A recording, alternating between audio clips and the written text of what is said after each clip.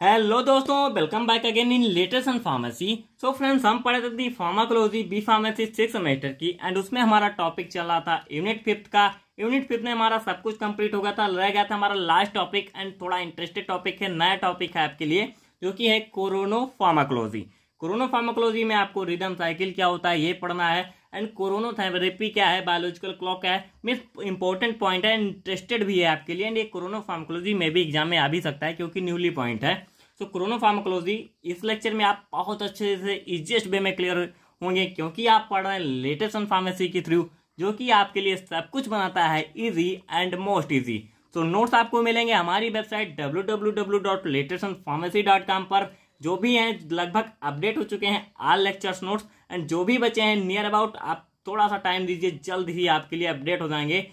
Means आपके exam के बहुत ज़्यादा पहले ही अपडेट हो जाएँगे। सो so, बात करते हैं कोरोनो फार्माकोलॉजी की। ये है सब मिस पुराना ही आपका सब कुछ बस क्या है थोड़ा सा यहाँ पर आ गया है नया वर्ड एक कोरोनो एंड क्या है फार्माकोलॉजी फार्माकोलॉजी आप अभी तक पढ़ते ही आ रहे हैं बहुत पढ़ा आपने फार्माकोलॉजी फ़र्स्ट सेकेंड थर्ड यही जो कोरोनो है आपका इसी के अकॉर्डिंग क्या है थोड़ा सा यहाँ पर चेंज होगा वही आपको जानना है जो कि आपको समझाएगा आपका लेटेस्ट एंड फार्मेसी बहुत ही इजी वे में। So, बात करें कोरोनो एंड फार्माकोलॉजी की तो ये क्या होता है जो कोरोनो वर्ड है आपका ये क्या है ये रिलेटेड होता है टाइम के अकॉर्डिंग मीस टाइम से रिलेटेड होता है। कोरोनो का मतलब क्या होता है टाइम एंड फार्माकोलॉजी मीस फार्माकोलॉजी आप अभी तक पढ़ते हैं फार्माकॉन मीस ड्रग एंड क्लॉगस मीस उसकी स्टडी करना मीस किसी भी ड्रग के फार्माकोलॉजिकल एक्शन की स्टडी उसका मीस साइड इफ़ेक्ट क्या है कॉन्ट्राइंडिकेशन क्या है यूजेस क्या है, कैसे वर्क कर रही ये सब की स्टडी आप फार्माकोलॉजी में करते रहे। बट ये क्या होता है, आपने कोरोनो फार्माकोलॉजी में क्या होता है, जो भी ये ड्रग मेडिसिन आप ले रहे हैं तो वो क्या होता है, आपकी बॉडी में कुछ फार्माकोलॉजिकल वेरिएशन होती है टाइम के अकॉर्डिंग एंड जो ये वेरिएशन होती हैं, वो होती है आपकी बायोलॉजिकल टाइमिंग्स के अकॉर्डिंग अब यहाँ पर वर्ड आता है आपके लिए बायोलॉजिकल टाइमिंग्स अब ऐसा समझिए आप जैसे आपकी बॉडी में क्या है, आप इवरी बॉडी है ट्वेंटी फोर आवर्स मीन सभी के पास ट्वेंटी फोर आवर्स हैं and in twenty four hours में हर एक बंदे के बॉडी में बहुत कुछ चेंजेस होते रहे उसके फिजिकोलॉजिकल चेंजेस होते हैं, उसकी बॉडी में क्या है बिहेवियरल चेंजेस होते हैं मेंटल चेंजेस होते हैं। तो जैसे यहाँ पर आप देख सकते हैं शार्पेस्ट राइन इन बीपी आपकी जो मॉर्निंग टाइमिंग होती है सिक्स पैंतालीस एम पर, वहाँ पर क्या होता है ब्लड प्रेशर में शार्पेस्ट राइजिंग होता है। फास्टेस्ट क्या होता है रिएक्शंस होती हैं आपके।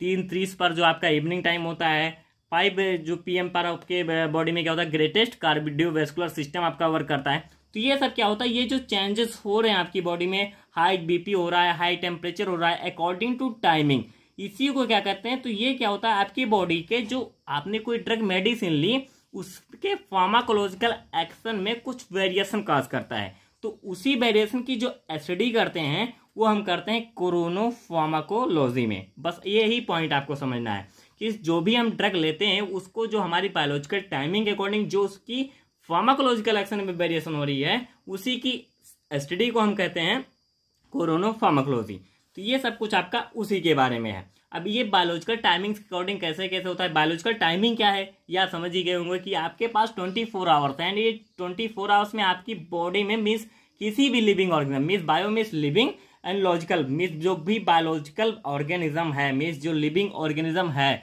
उसमें ट्वेंटी फोर आवर्स में जो भी कुछ चेंजेस ये हो रहे हैं, उसी को क्या कहेंगे? बायोलॉजिकल टाइमिंग्स एंड इसमें जो भी ड्रग आप ले रहे हैं, उसके फार्माकोलॉजिकल एक्शन में बायोलॉजिकल टाइमिंग के अकॉर्डिंग जो भी वेरिएशन होगी, उसी के साइंस को क्या कहेंगे?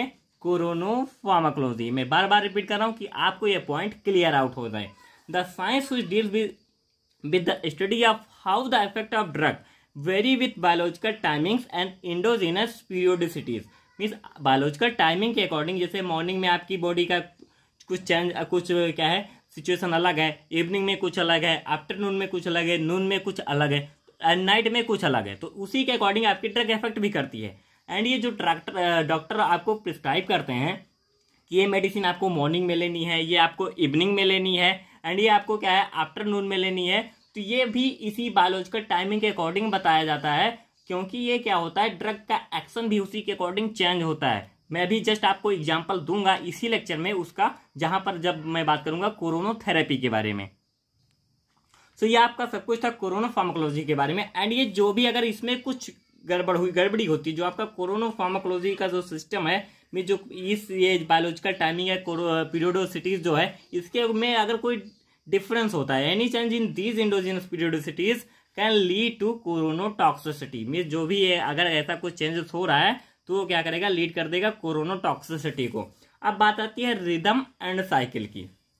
रिदम क्या होता है? Repeated series of events in body every day means आपकी आपके पास क्या है? एवरी डे के लिए ट्वेंटी फोर आवर्स है।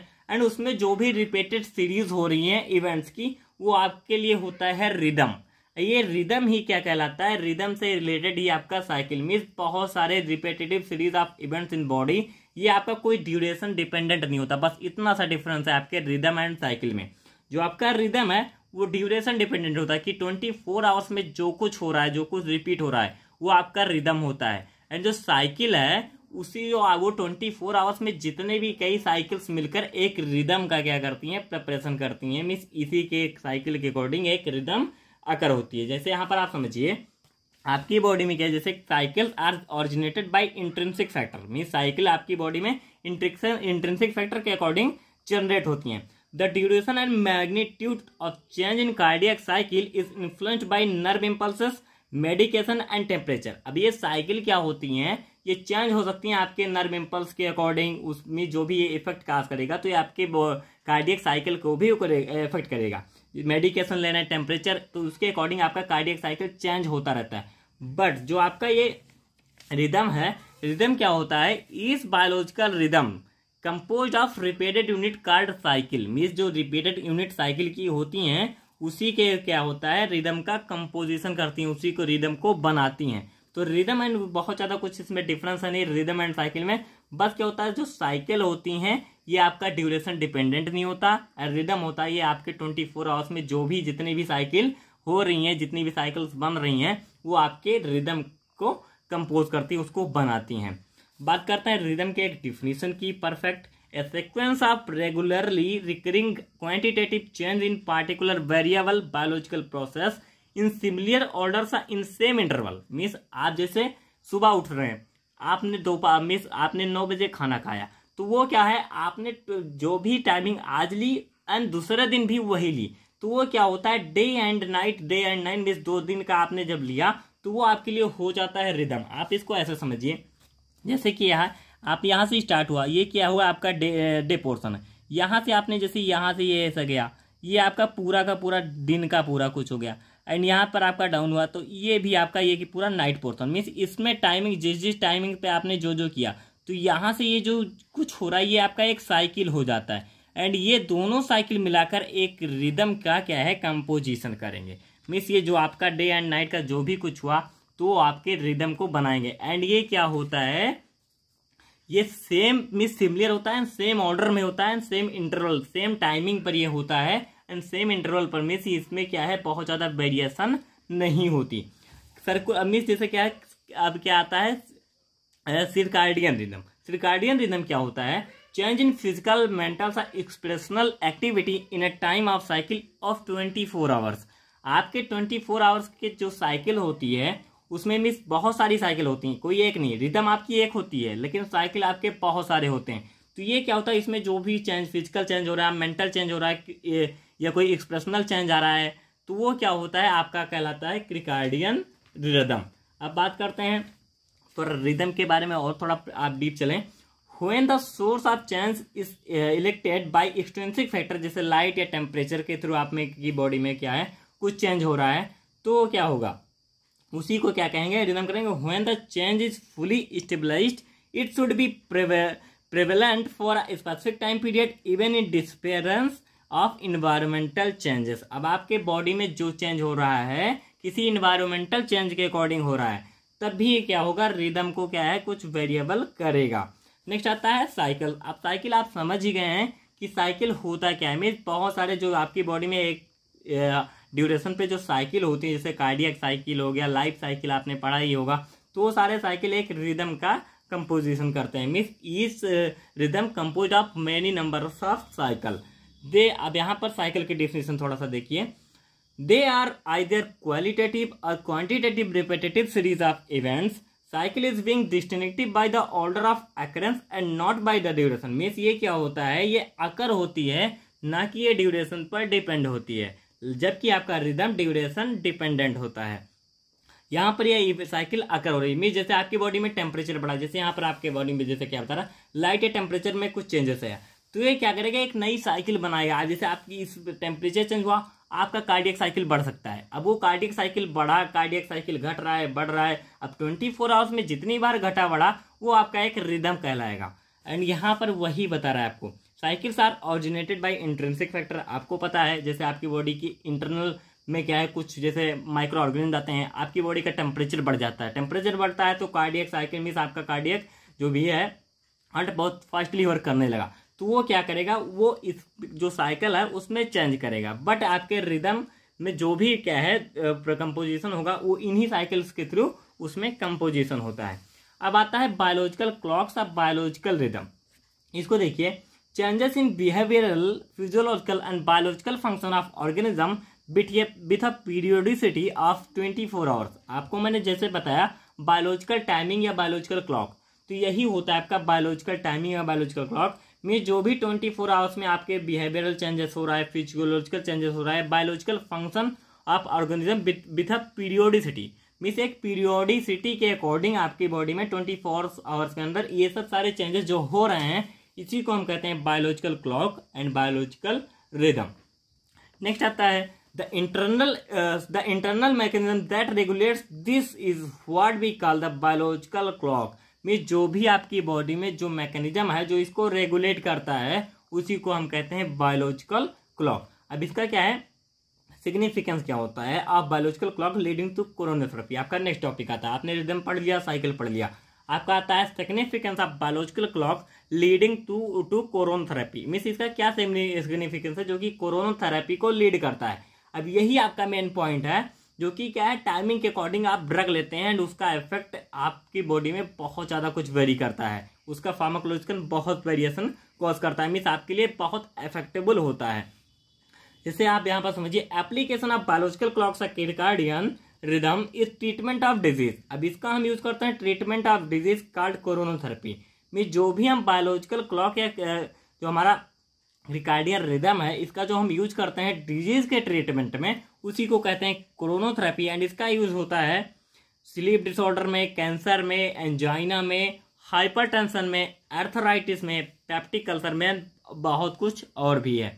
नहीं, अब इसको एग्ज़ाम्पल से आप समझिए कि कैसे ये जो आपका बायोलॉजिकल क्लॉक या क्रिकार्डियन रिदम है, ये आपके डिज़ीज़ को कैसे ट्रीट करता है। एंड इसी को हम कहेंगे कोरोनोथेरेपी यहाँ पर आप समझिए पेप्टिक अल्सर आपको हो रखा है। पेप्टिक अल्सर में क्या होता है? मैक्सिमम एसिड सिक्रेशन जो होता है आपकी बॉडी में, नाइट में होता है। तो यही जो नाइट में जो सिक्रेशन हो रहा है तो उसी के अकॉर्डिंग ड्रग हम सिक्रेशन से पहले ही दे देंगे। मिस, आपके बॉडी में एसिड सिक्रेशन आपको नाइट में होने वाला है। तो वो एसिड जो सिक्रेशन होने वाला है, उसको पहले ही हम क्या है, ट्रीटमेंट दे देंगे। मिस, हम वहाँ पर drug H two blocker given in evening इसीलिए जो एच टू ब्लॉकर होगी, उसको हम इवनिंग में दे देंगे। तो ये जो नाइट में जो कुछ होने वाला एसिड सिक्रेशन वो होगा नहीं। तो कोरोनाथेरेपी आपका इसी के अकॉर्डिंग हेल्प करता है कि आपका जो डिज़ीज़ जो भी होने वाला है तो वो होने ही नहीं देगा। उसके पहले ही आपको क्या है, आपकी बॉडी उसके लिए, उससे लड़ने के लिए, उससे फाइट करने के लिए क्या है प्रिपेयर हो जाएगी। अब बात आती है अस्थमा की। Risk higher between four to five M miss morning time में इसमें बहुत ज़्यादा रिस्क होता है।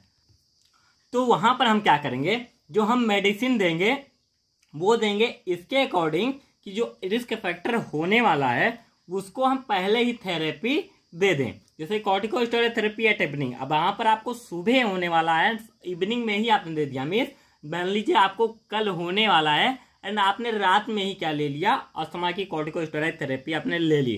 थियोफाइलिन ले ली आपने नाइट में। तो ये सारा क्या करेगा? आपकी वो जो भी अस्थमा की जो प्रॉब्लम कॉज होने वाली थी, उसको ये कॉज होने नहीं देगा। उसके पहले आपकी बॉडी में वो क्या है उससे फाइट करने के लिए आपकी बॉडी प्रिपेयर रहेगी। एंड यही आपका कहलाता है कोरोनो फार्मोकोलॉजी जिसमें हम biological time and biological clock and जो है हमारा क्रिकार्डियन रिदम है, इसका हम यूज़ करते हैं डिज़ीज़ के ट्रीटमेंट में। यही आपकी कोरोनो थेरेपी होती है। सीएनएस डिसऑर्डर में आप देख लीजिए एपिलेप्सी होता है डिप्रेशन हो रहा है तो वहाँ पर हम क्या करेंगे गाबा जो पेंटिन है before wake up in the morning. आपने आपको वॉल करना है मॉर्निंग में, उससे पहले आपको जो आपका गाबा पेंटिन ड्रग है, इसको आप ले लेंगे। आपकी बॉडी में एपिलेप्सी नहीं होगा। अब यह क्या है? सेली जिनेला जो सेली जिनेलिन है तो ये हम ड्रग क्या करेंगे? Before wake up in morning. अगर आपको डिप्रेशन होने वाला है, आपको ये पहले पता है, मीन्स आपको पूर्वानुभास हो रहा है कि आप, हमको डिप्रेशन हो रहा है या हो सकता है तो वहाँ पर आप पहले ये ड्रग ने आपको, आपने ले ली एंड वो आपने, आप मॉर्निंग में उठे, वो आपका कुछ नहीं होगा, आप ऑलरेडी ट्रीटेड हैं।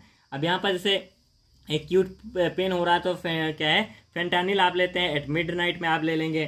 कार्डियोटोनिक ले लेते हैं बिफोर वॉकिंग अगर आपको हार्ट अटैक आने वाला है। तो ये सारे होते हैं कोरोनोथेरेपी के पॉइंट्स में आपको क्या है, कुछ होने वाला है बट आपने उसके पहले ट्रीटमेंट ले लिया, क्योंकि आपको बायोलॉजिकल टाइम के अकॉर्डिंग पता है, आपके बॉडी की कंडीशन सही नहीं है। तो उसके अकॉर्डिंग क्या है? ये पता लगा लिया गया कि हाँ आपकी बॉडी में ये हो सकता है। तो मॉर्निंग में आपको अगर ये प्रॉब्लम होने वाली है तो उसके पहले आपको उसका ट्रीटमेंट दे दिया गया according to biological clock and circadian rhythm that is called chronotherapy so इसी के साथ आपका फार्माकोलॉजी का यूनिट फिफ्थ कंप्लीटली बहुत अच्छे से इजिएस्ट वे में कंप्लीट होता है। कोई भी पॉइंट आपको ना समझना है, कोई डाउट हो, हमको कमेंट बॉक्स में तुरंत पूछें, आपको ज़रूर रिप्लाई जाएगा। एंड अगर कोई डाउट हो, आप हमारे व्हाट्सएप ग्रुप पर ज्वाइन होकर हमसे पर्सनली भी पूछ सकते हैं। नोट्स के लिए आप विज़िट कीजिए हमारी website W W W dot latest pharmacy dot com so thank you like share my video and subscribe my channel latest pharmacy so much thank you